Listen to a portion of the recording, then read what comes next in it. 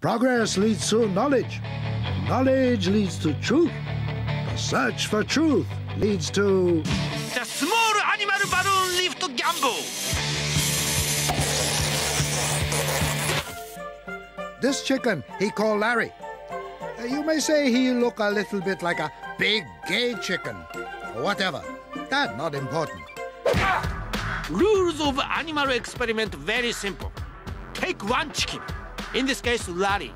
Take bundles of helium floaty balloons and attach them to chicken until he flies straight up in air.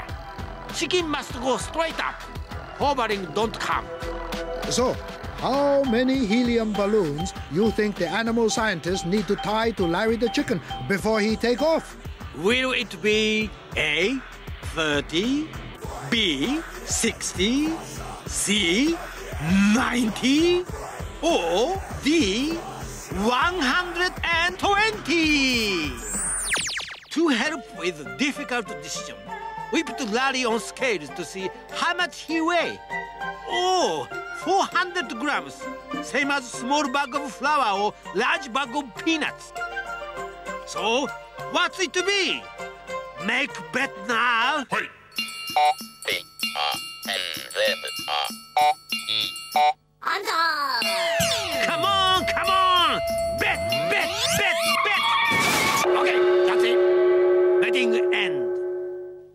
the experiment begin. First, the scientists attach 30 balloons to Larry. Oh, here we go. 30 go. No, we don't. If you said 30, you're wrong! Now we must try 60 balloons. Could be tasty. Tension mounting. Oh, oh yeah, no, no, no, no, no. That's not a count. More balloons, please. Okay, 90 balloons.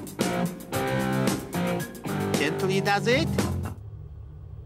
Gently, gently. Yes. Now. Oh, ho! Oh! we have rally lift off. Yes. Ooh, good. Oh, wow, that's good. Ooh, ha, ha. Let's have another look at that flying chicken, this time in slow motion. Goodbye, Larry. We salute your ultimate sacrifice at the altar of science. You brave little chicken. We never forget you.